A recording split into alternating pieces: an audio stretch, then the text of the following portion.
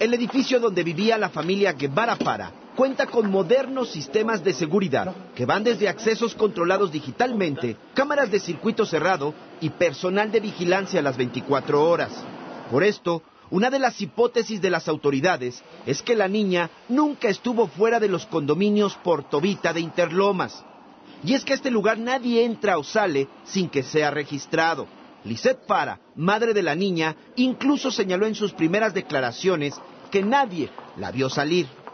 Salimos eh, desesperados preguntándole a la gente que si la había visto, nadie la había visto, entonces pues concluimos que la niña estaba perdida.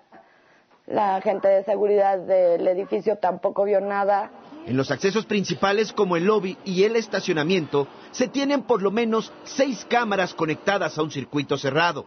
Los automóviles deben pasar por un filtro de vigilancia y esperar a que se autorice la entrada para que se abra la reja automáticamente. Por ello las investigaciones se han extendido a otros pisos y departamentos de este edificio para intentar ubicar dónde se ocultó a Polet durante los días que estuvo desaparecida y hasta que se le localizó sin vida. Con información del EMIG Madrid, Fuerza Informativa Azteca.